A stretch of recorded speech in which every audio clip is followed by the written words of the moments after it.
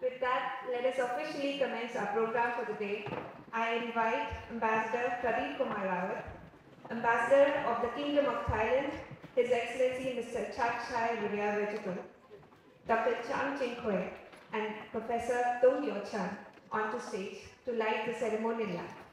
那么，让我们有请印度驻华大使罗国栋先生、泰国驻华大使韩灿才先生、江景奎博士、 董友成教授上台点亮灯盏，以此正式开始我们今天的活动。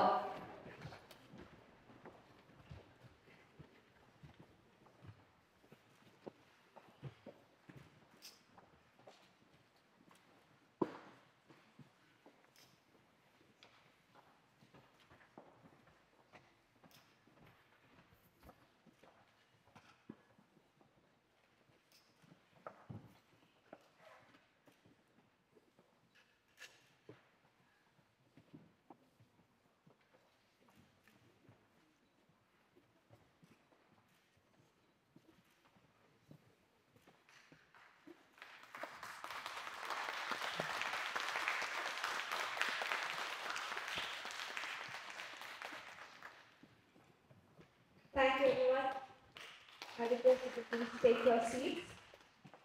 非常感谢，请大家就坐。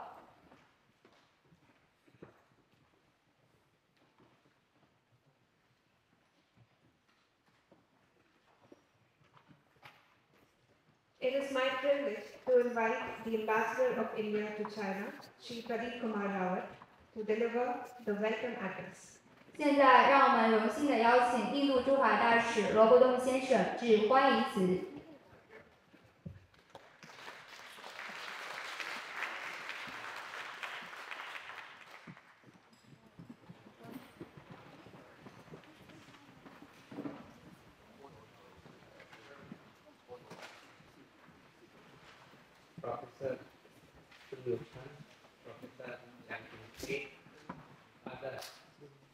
Distinguished professors and scholars who have traveled to Beijing from not only Beijing, uh, which is the last, but from Sichuan, from Guangdong province, uh, from uh, uh, Zhejiang, Jiangsu, um, and, and my diplomatic colleague, Ambassador Chacha, uh, and young scholars.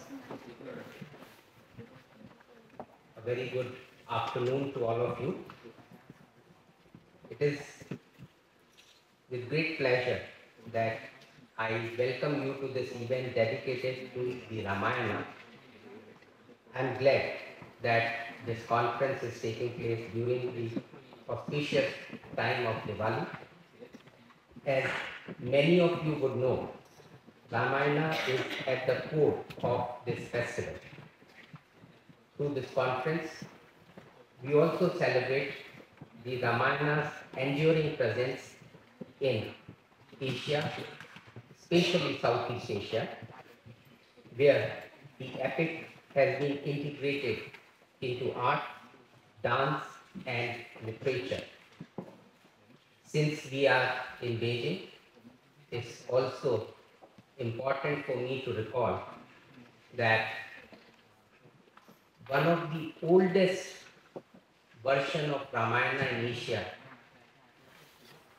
was actually in China, which came in the first century AD, some people say even before that, and got uh, through the medium of Buddhism, through the Jataka tales uh, in, in China. And in modern times, uh, Professor Ji Xianlin, uh, I believe that many of you who study India in China would remember him. Uh, he brought that knowledge into contemporary uh, time by rediscovering entry of Ramayana and its story into China. And he's also probably the only scholar in China who has been awarded by these two governments, by government of China as well as government of India. Uh, the Ramayana is believed to be the oldest poetic work of human civilization. While the historians have not come to a definite conclusion about the time period when the Ramayana was written, there are astronomy-based research findings that date back Ramayana to about 7th century BC.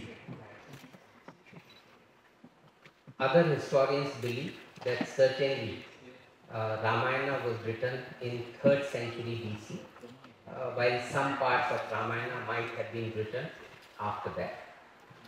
Ramayana is integral to Indian civilization.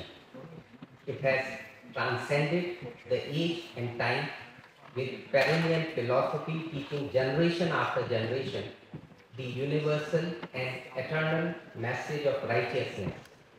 In that sense, it is a literary work of great significance to mankind as it has lessons applicable for all time and for all conditions of life. The Ramayana has also transcended geographical boundaries, adapting itself seamlessly integrating or merging into local cultural tapestry while maintaining its core values. It has fostered a shared heritage among nations, creating connections to storytelling, performance, and other forms of artistic expression. For example, in Cambodia, Rama is known as Sri Ram and Sita is known as Neang Seda. Ramayana, known as Reamker, has many Buddhist influences and unique stories of its own. Indonesia has more than one version of Ramayana, Kakawin Ramayana, Serat Rama, Charit Ramayana, Javani Uttarakanda, the Sirat Kand and Rama claim to name a few. In Laos, the Ramayana takes place on the banks of river Mekong.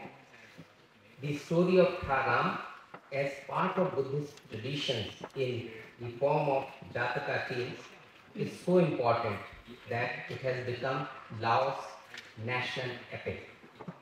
In Malaysia, Hikayat Seri Rama undergoes an interesting twist with Maharaja Vana, who Ravana, depicted more just and loyal than Lord Ram.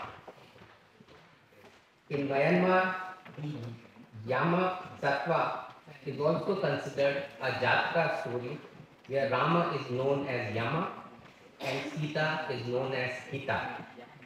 In Philippines, Ramayana has a Maranao version called Maharadya Lavana. It is in the form of a song Darangan, which is also intangible cultural heritage, which is played through the traditional Singkil dance form. In Vietnam, evidence of Ramayana is found in the southern Vietnam kingdom of Champa. The story is part of a historical tale of fight between Champa and the northern Vietnam kingdom of Annam. With regard to Thailand, my dear friend Chachai will certainly mention us the significance of Ramakien to Thai culture and nation. In China, the Ramayana arrived with traders and Buddhist monks traveling from India. The story of Ramayana is told through two Jataka tales with its message of filial piety, brotherliness, and righteous conduct, which must have reverberated well with the Confucian ideals prevalent at that period. As a vehicle of transmission of cultural, ethical, and philosophical ideas, the Ramayana not only forms part of India's invaluable cultural and religious heritage, but has embedded itself in the cultural and spiritual tapestry of various countries of the region, and thus contributed in creating our distinct Asian identity. We have with us today panel of distinguished scholars and diplomats who will share their profound insights on the subject. I hope that the discussion today would create new perspectives and foster a deeper understanding of Ramayana's influence in creating a shared Asian consciousness. Thank you.